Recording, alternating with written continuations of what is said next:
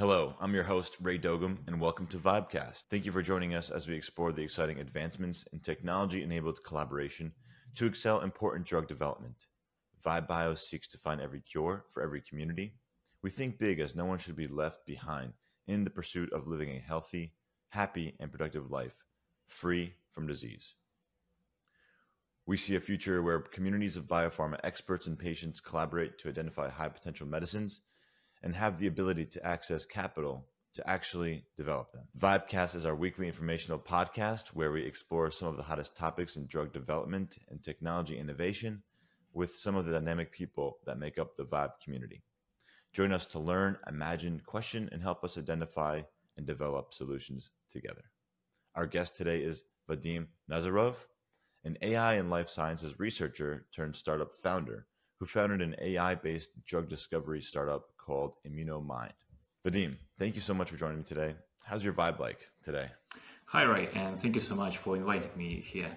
Uh, my uh, vibe mood today is quite good despite the rainy weather, so I'm looking forward to our exciting discussion. Awesome. Where are you calling us from today?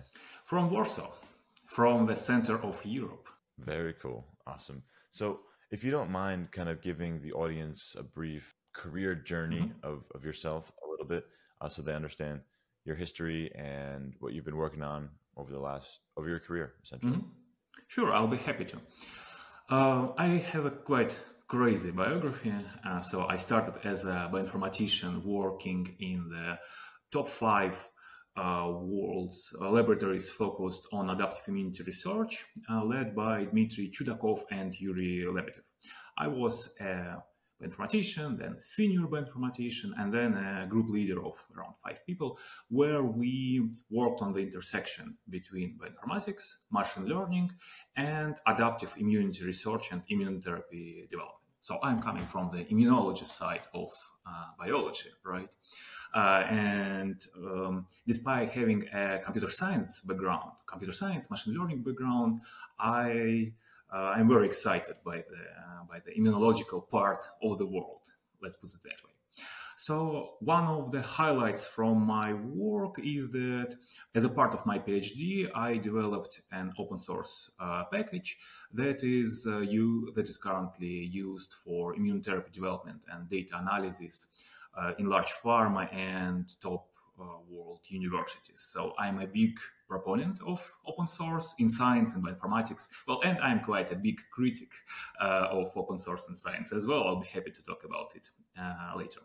Oh, uh, after my work in academia, uh, I got invited to a Canadian-Israeli uh, startup called TensorPad as a co-founder, chief AI officer, and chief product officer uh, we developed a platform for machine learning engineers, machine learning researchers to manage their infrastructure and machine learning experiments. Imagine you have thousands of uh, deep learning models of artificial neural networks models right? And you you want to store them you want to understand what's going on with them you want to select the best one. It's quite similar to the drug development right? Where you need to select the, the top uh, the best leads, for example, for, for subsequent experiments.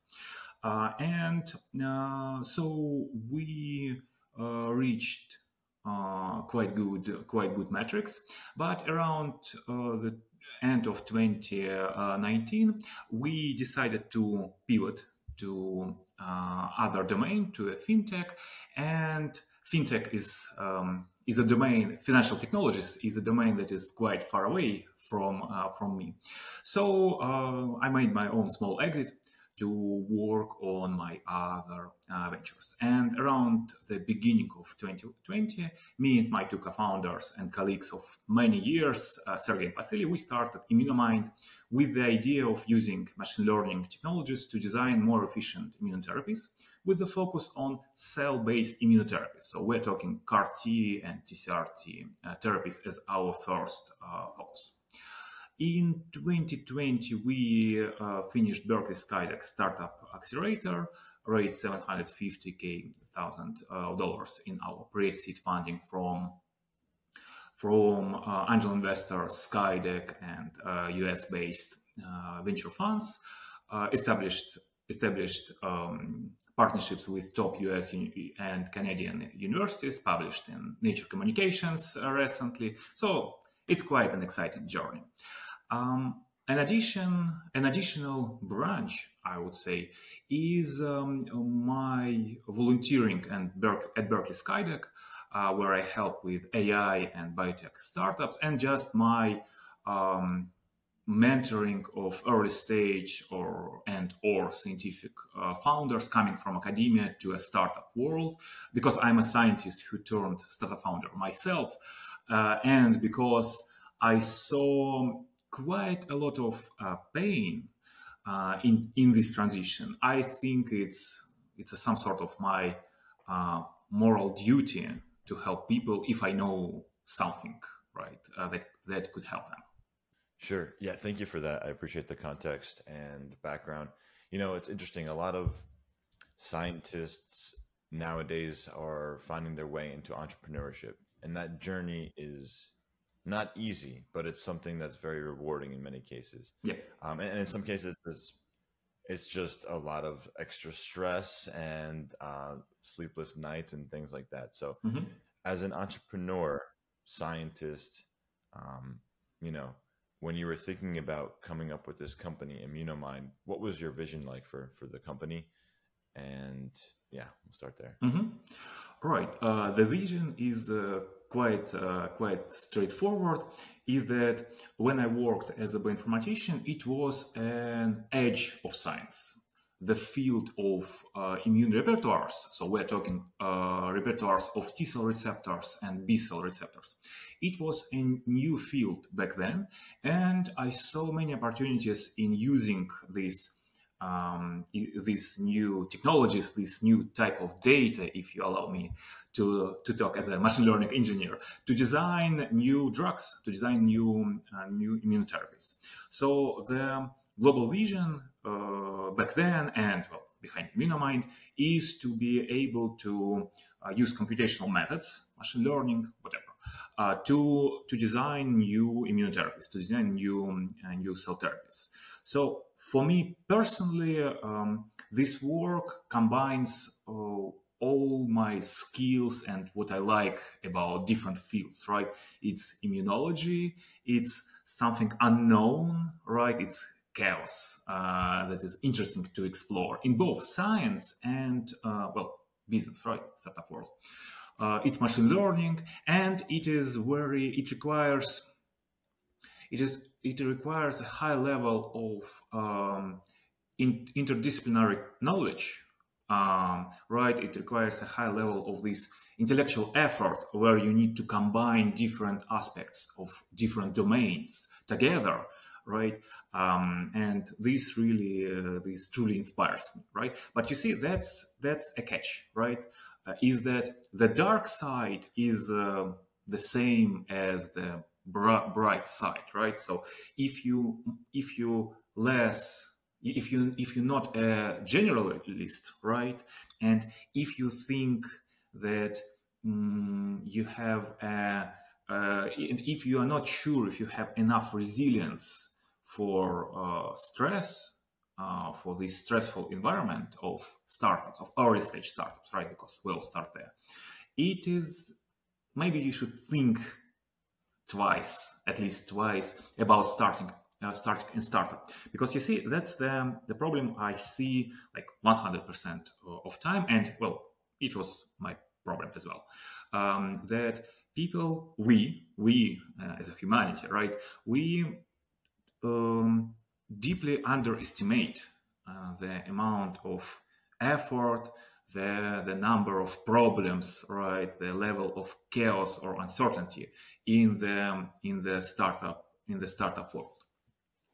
There are, of course, of course, uh, there are different ways to overcome this, right? And uh, well, you could uh, uh you could um, gather gather a lot of financial capital, right? To de-risk yourself for a year or, or two, right? Or you could follow, and this is probably the more realistic uh, way, you could follow um, mm, common ways um, successful startups follow, right? Uh, the question is, uh, whether these these ways are truly successful or uh, maybe there are just something that venture capital investors got used to. Right? This is an open question, but still uh, there are some. You know, it's not algorithms. Uh, because there are no algorithms in, in, in, in chaos, right? It's uh, only heuristics and trial and error. But there are some recommendations to do things in biotech or in AI for drug discovery uh, space. Interesting. Um, let's switch gears a little bit over and talk about how AI can actually help with drug discovery, which is what you're doing, and mm-hmm. maybe defining what are the inputs that generate the AI models to help with drug discovery. Because the way I understand it is, of course, even with AI, garbage in, garbage out. Yes. In terms of what data you use. Yes. Um, but with machine learning, what's different is you can send a machine learning algorithm or a, a model 10 million images of a dog, different types of images of a dog, and it over time can learn that this mm-hmm. type of thing image is something that we call as humans a dog. Mm-hmm. But that's very well understood. So like a lot of people can can detect a dog when they see one. Mm-hmm. However, with with uh, immunology and um, and drug discovery, there's a lot of new information and novel data that's being generated that the world still still doesn't understand about these molecules or chemicals or interactions, right? Mm-hmm. So, um, in a lot of ways, it's hard to find really good data that can pre- have predictive um, characteristics yes. for for your model. Yes. So, so how big of a challenge is that and what are people doing to try to solve or what are you doing to mm-hmm. solve it right right right thank you so much for this uh, for this question. And thank you so much for mentioning the key principle right? Garbage in garbage out. Because i think um, this was uh, this is and this will be the uh, biggest problem for ai uh, for drug discovery field. Uh, because well because biology or immunology is again chaotic, right?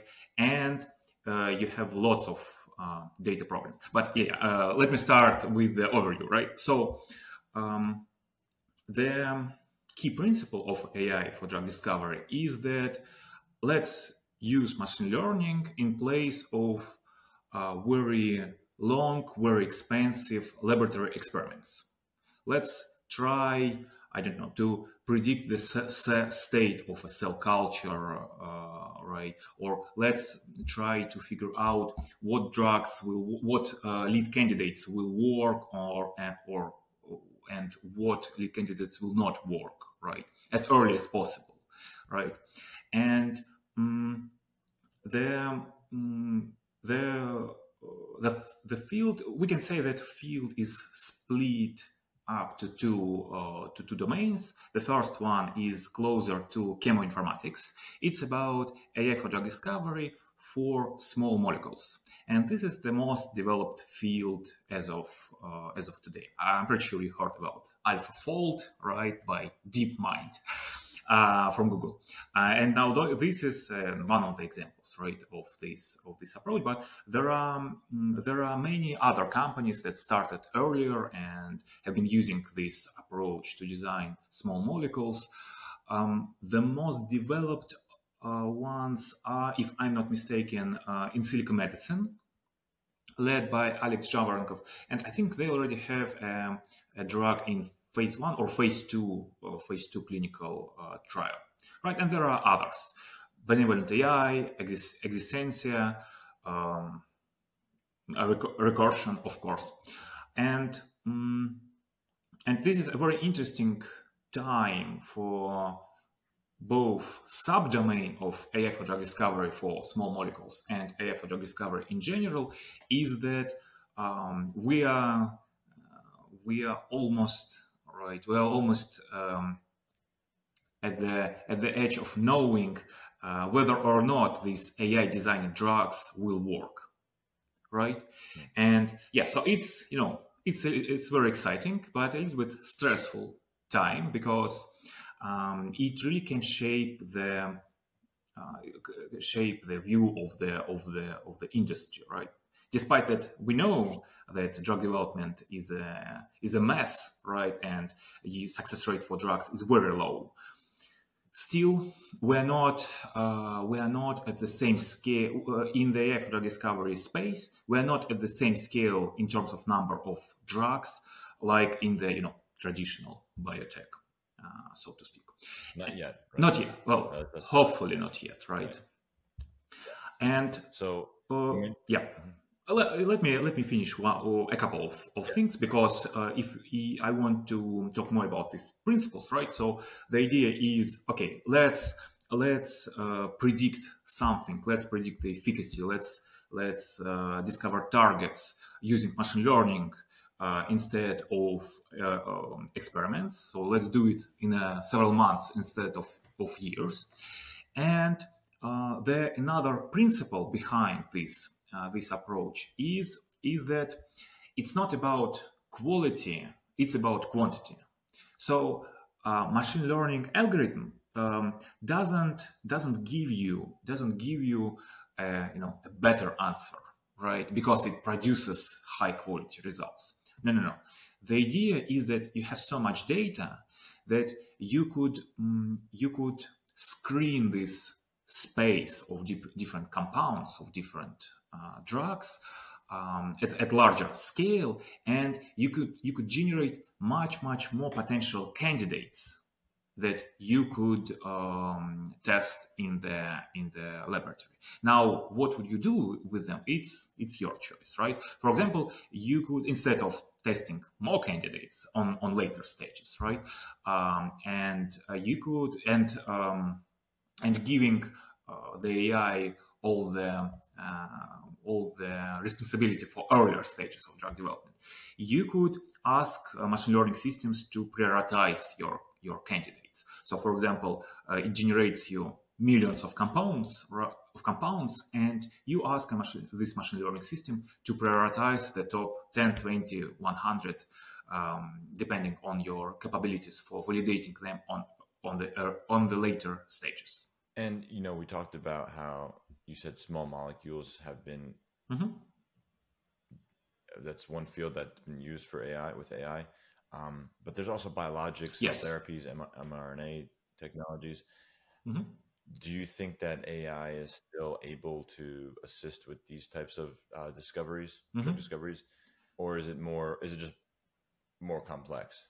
Yes, I I definitely think um, I definitely think that it can help and it will help. The problem is, like you said, it is more complex because we're talking about biologics, right? We're talking about living cells, right? In terms of if, if we're talking about cell-based therapies, right?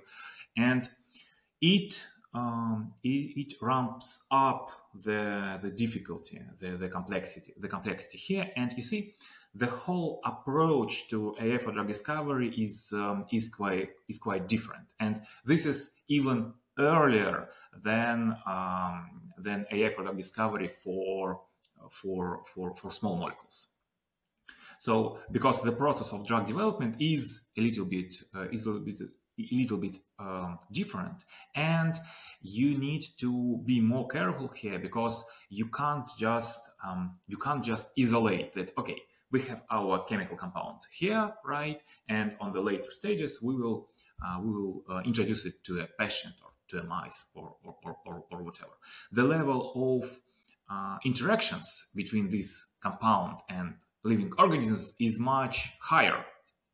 I understand that I'm trying um, I'm trying to, to to talk more metaphorically and high level, right? To to to to, to translate this, this this message is that you sure. you need to analyze with machine learning or any computational methods you need to analyze more things so to speak um, because we're talking more yes more vari- more variables because we're talking about uh, lots of interactions between the environment right organism and the the drug the drug itself even on on on the earlier uh, earlier uh, stages right? So again, talking about um, cell therapies, uh, when you when you uh, infuse CAR Ts to a I don't know to a mice to a mice, right?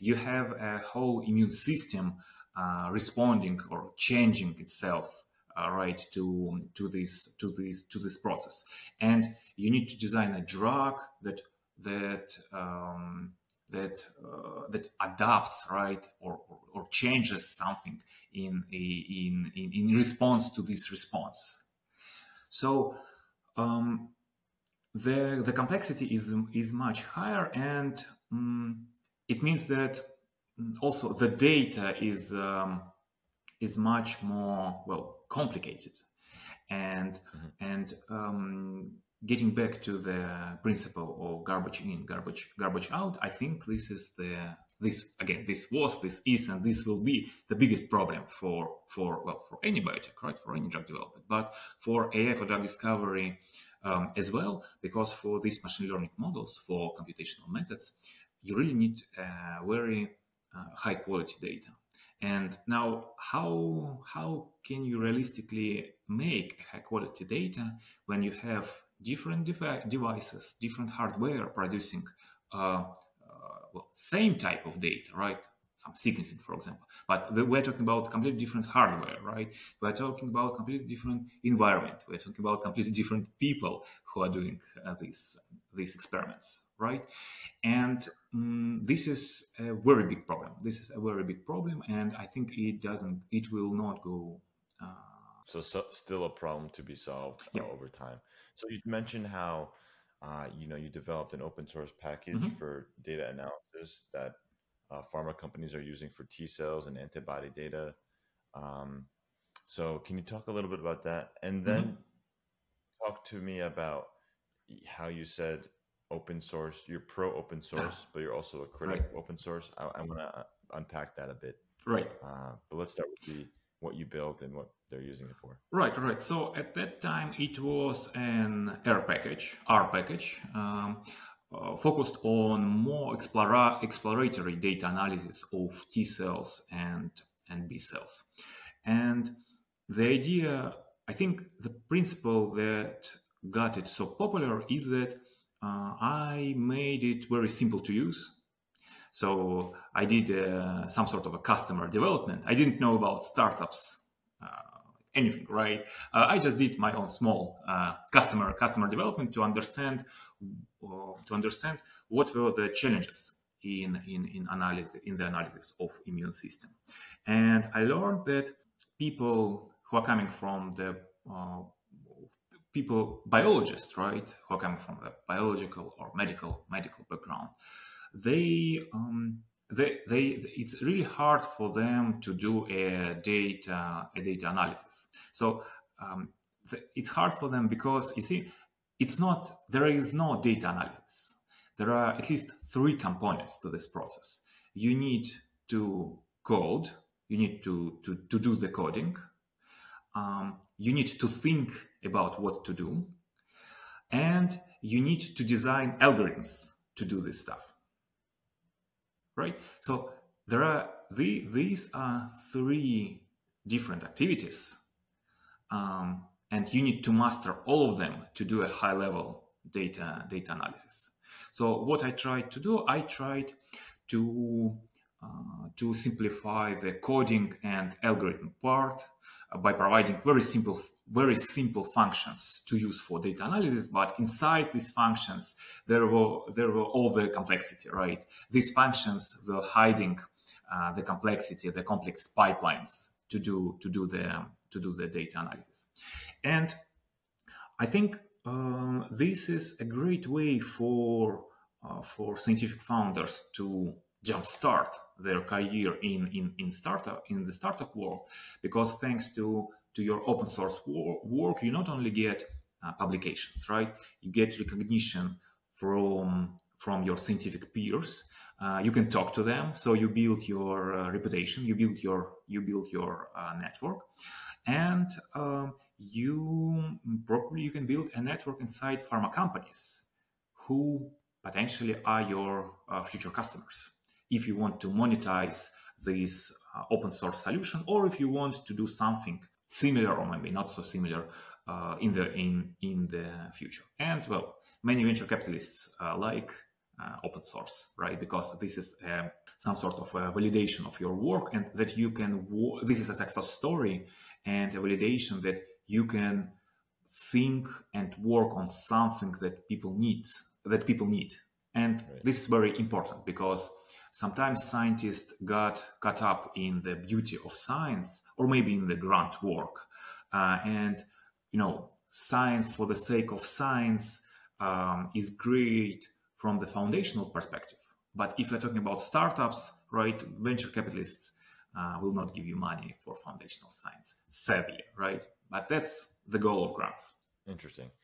Yeah and like with open source um, there's also the I mean, I'm a pro open source person as well, but the disadvantage of others using your platform for free, you know, so maybe a VC may see that and say, what's your business model? Yeah. So yeah. That, just another, would that be another criticism against open source, would you say? Um, I think it, I don't think it, it I don't think it's a, it's a criticism of open source itself, right? Because it really, um, okay it really depends on the market condition and it really it really depends on what are your what are your goals here and uh, what are the goals of uh, of investors of venture capital investors if you plan to raise venture capital of course right? Because for the market conditions look if you design an open source tool that is truly needed in all in, in many domains right? Or this is a critical tool uh, for a specific domain, I don't think there will be any problems on the on the capital side, right? On the fin- financial financial side.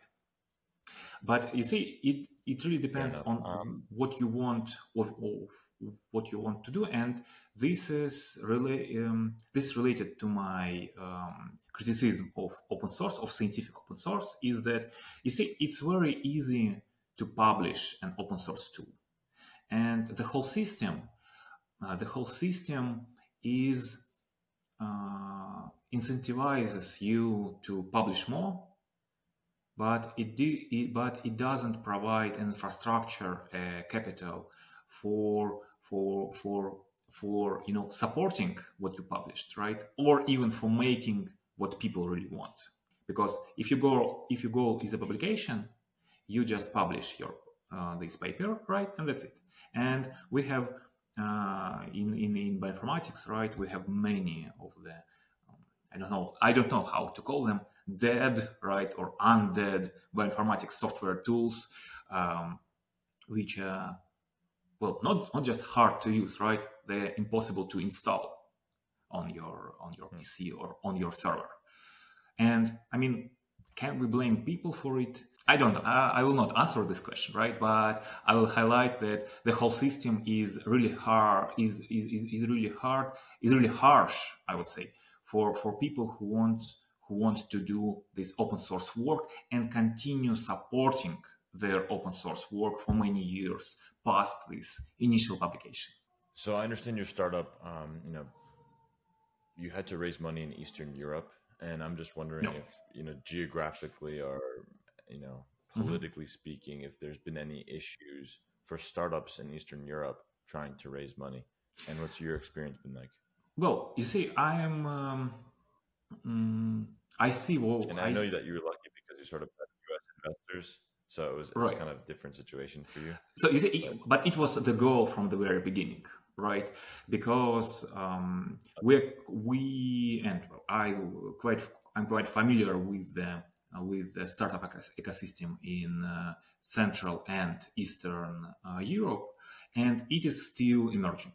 There, of course, there are success stories, right? There are there are some unicorns and so on, but the biggest problem as I can see, uh, well, one of the biggest problems uh, with the uh, startup ecosystem in Central and Eastern Europe is that people really people don't really understand what a startup is, right? So, startup is about this high risk, high reward, and new technology that can reshape the industry, right? Um, it's about new, uh, it's about new ways to do some completely new ways to do something. Uh, but Right. It's about disruption Yes, yes, yes, yes. So, and people in the US, in UK, and maybe some people in in Western uh, Europe, in my experience, uh, they they understand it, right? I mean, just look at the number of unicorns by by by, by countries, right? And the whole idea of venture capital, as I can see it, as as people, I don't know, uh, Marc Andreessen, for example, from A16Z, uh, the, the whole idea of venture capital is that okay, you go very early you go in in you invest in very um, you invest in high risk high reward uh, technologies and you really don't invest all your money in one startup. You if you have a i don't know 1 million right you invest 100k in 10 startups. And uh, your fellow venture capital investors do the same. In this case you get this de-risk right you you you hedge your risks and your fellow venture capital investors as well right? And so if some of these startups fail i mean most of them will, will fail right? Uh, then you you don't suffer catastrophic um, catastrophic damage. I don't think i don't see the same the same thinking framework here in Poland or in Central and uh, Eastern Europe. People look at startups more like at the private equity. Is that you want they want to have a detailed financial uh, financial model of financial model for next I don't know five seven years right uh, from early stage startup startups right it's it's fine to ask for a financial model but uh, if you invest in an early stage startup, you want you need to understand that there there are many possibilities to pivot, and in reality, you invest in people and maybe in some technologies. In, if we're talking about deep tech or or biotech, but it's it's about it's about investing in pivot. Sorry, in pivot, uh, investing in in people uh, who will who will probably pivot and um, and you need to invest in many such teams. And people people either invest uh, to uh, to small, well, much smaller amounts of money in in, in, in, in deep tech or biotech investors, or they invest all, all their money in uh, all their capital in one in one startup, right? And then they get disillusioned with venture capital because the startup uh, failed right? But that's not how you do venture capital, right? It's venture capital yeah. as a as entrepreneurship. Venture capital is about taking the risks. You just uh, you just take many smaller risks by spreading your capital uh, around many startups, right? Sure, part of the it's part of the understanding. Um, yeah. And a risk that they must take yes. be part of that ecosystem. Yes. So how is the current economic environment affecting deal flow from your perspective and investments uh, into early stage mm-hmm. biotech companies? Is this something you're familiar with? Right. So in my experience and in uh, and in experience of my many of my for startup founder founder friends it's um, it's much harsher than uh, than than before. And the general the general notion is that uh, the um, the general mood is that uh, investors uh, got very risk averse, right? Uh, they they stopped leading rounds, right? So they just follow other investors. Um, they ask for uh, for a much harsher due diligence, but well, not all investors really have right experts to do a proper and correct, I would say, due, due, due, due diligence on, on, on startups. Um, and yeah, people people just got very risk averse. I mean, it's uh, it's obvious, right? Uh, economic crisis, uh, war, war on Ukraine, and so on.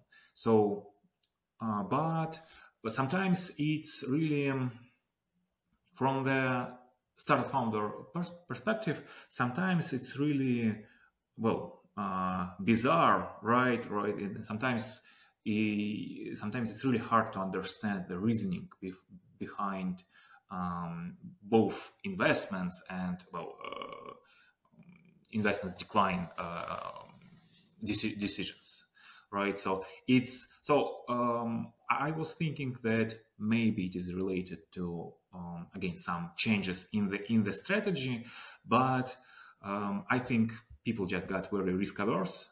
Some of, of of people, some of investors, they maybe they're not very open uh, about it to startups. Uh, so we, I feel like there is a much more, much more com- communication gap communication disconnect between investors and startups uh, as of as of today right? Everyone every, everyone is uh, uh, is is stressed right? Simple simple as that as that right? So it, it, it leads to some problems with communications uh, problems with decision making uh, and uh, and so so you know having been part of accelerators and working with investors and different types of startups what kind of support do you think early stage biotech companies need to make them successful? Mm-hmm. Right. So um, the problem with business or with with the startup world it's it's uh, is that it is very chaotic. It, it is very uncertain. It means that there are no algorithms and you need to do the trial and error, error by yourself. There is, there is one great book on entrepreneurship called Disciplined Entrepreneurship by a professor from MIT, right? And well, it is um, it is great. It's a, it's a, some sort of an algorithm, right? But you still need to adapt it to your uh, to your realities. I highly recommend this book to all early stage or uh, early stage founders or scientists who who, plan to do uh, to do the business uh, earlier. So in order to in order to really de-risk uh, your, your your your path you need to have an access to this experience. You need to have an, an access to to business experience from more seasoned entrepreneurs because these people uh, will will guide you or maybe they will be a ceo of your company or maybe just an advisor or mentor but they will show you these um, hidden uh, currents, so to speak, right? Or hidden meanings, uh, or maybe some insider information uh, that will greatly help you and and and de-risk you. For example, there are many accelerators, startup accelerators, which just um, take uh, take a startup, right? Take equity, ask for money for participating, in a startup accelerator without giving back anything, uh, any any capital, right? And they promise that they will introduce you to some to their investor network, right? You know, maybe you should be careful with these uh, people. Maybe you should, uh, maybe you should um, ask your business advisor to do a, some sort of a due diligence or on such uh, startup accelerator, right? To to to help you understand uh, whether or not there will be any value from, uh, from from it. And you see, it's the same with it's the same with any other any other uh, domain. You need to have uh, an easy access to this experience, so you can ask questions, uh, get an advice or, or, or, feedback, and do your own trial and error right to get this experience by by your, by yourself. And i think for europe it's uh, one of the if not the biggest problem uh, is the it is the lack of seasoned entrepreneurs uh, who could help uh, guide uh, early stage early, early stage uh, startups. There are lots of consultants right? There, without any entrepreneur experience or ex-governmental workers again with without no entrepreneurial experiments and you need to be well you see um, if you're if you're an early stage founder you don't understand that you don't understand right? You don't know that you don't know something. You don't know that yeah. uh, you don't know that you don't know maybe they will not help you or or, or maybe you you maybe they they can help you in other domains right that you're not expecting. So I think it's all about finding uh, a mentor, an advisor, just friend, uh, whatever, whatever with this uh, seasoned, or sorry, with uh, with this entrepreneurship, uh, entrepreneurial experience. Final question before we conclude here: What kind of specific technologies do you see making the biggest impact on human health in the next few years? Mm-hmm.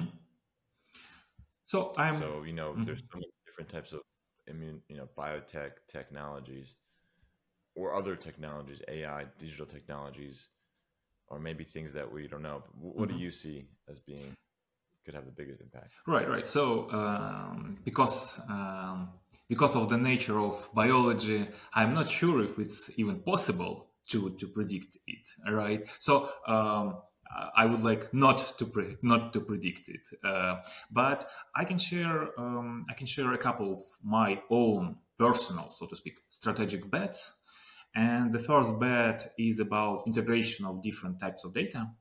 Uh, metaphorically speaking, we want to view the drug, drugs or organisms from different from different uh, sides, right? From different perspectives, and you know, you you you can do that. You can do this if you can integrate completely different, or maybe not so completely different types of data in a coherent form. So um, so when you can look you know at the same process from uh, different perspectives um, and the other and the other strategic bet is definitely infrastructure because uh, i think and uh, this is related to the ai for drug discovery domain i think i think ai for drug discovery domain is um, is lagging behind the uh, enterprise ai and uh, in the enterprise ai field uh, we're talking about you know some consumer application or financial technologies or you know I don't know retail logistics and so on. Uh, in, in, in, in, in, in, enterprise AI, we are already people already passed this uh, stage of you know let's create new machine learning models, right? Let's create new AI models.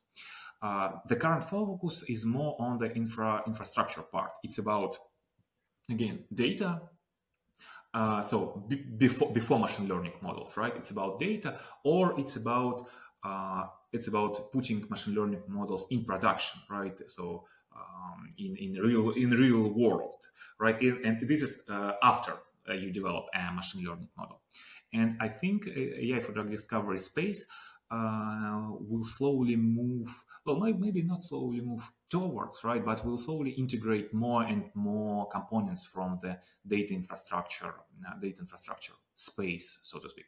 And um, you see, the the problem and the underlying problem here, here is is is uh, is very straightforward. Is that uh, the data the the data is growing much faster than uh, companies uh, are growing right? So you have uh, the the number of uh, terabytes or gigabytes per person per employee of a biotech company, right? It's it's going up very fast, and well, it uh, it it will not. It won't be changing any any any any, any soon, right? And new di- and new types of data will generate even more data, even more complicated data right? So data infrastructure pro- problems will not go anywhere, and um, so I'm personally looking more and more into this in, into this space. Infrastructure. Yeah. Yeah, infrastructure is definitely a place to keep you know our focus, yeah. our attention on. Uh, Vadim, I want to thank you so much for your time today, and I appreciate you coming on the show and sharing a little bit about AI and drug discovery and your company, Immunomind. Thank you, Ray. Um, thank you. Is there anything else you want to share with the audience before we conclude? Well, I I would like I would like uh, to say good luck with uh, with your future future startups. So good luck, but be careful and ask someone. Okay, and everything will be fine. Get a mentor.